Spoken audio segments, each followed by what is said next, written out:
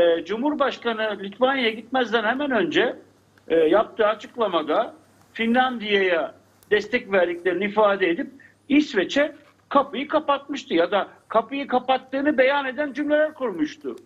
Ee, İsveç'in, Türkiye'nin e, öncelikler arasında yer alan FETÖ ve PKK ile ilgili beklenen adımları atmadığını, Türkiye'nin aradığı kişileri teslim etmediğini, Türkiye'nin güvenlik kaygılarını umursamadığını söylemişti. Yani zirveden bir iki gün önce söyledi. Belki de bir gün önce Tabii, söyledi. tabii. Şimdi tabii o konuşmaları dinledikten sonra e, Cumhurbaşkanı'nın İsveç'te e, en azından e, yetkililere evet demeyeceğini, e, meclise havale edeceğini beklerdim.